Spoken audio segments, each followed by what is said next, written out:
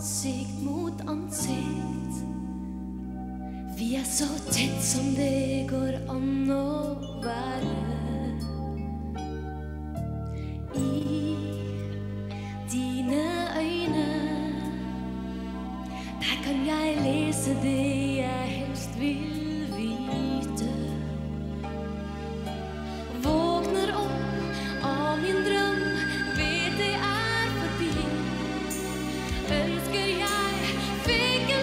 En sjanse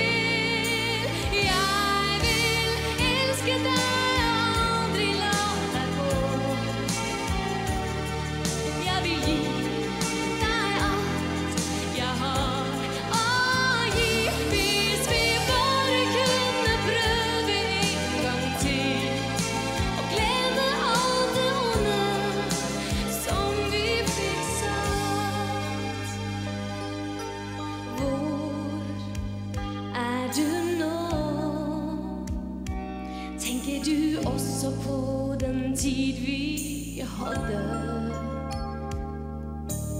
Er du alene? Har du møtt en du kunne stole mer på? Vet at jeg hadde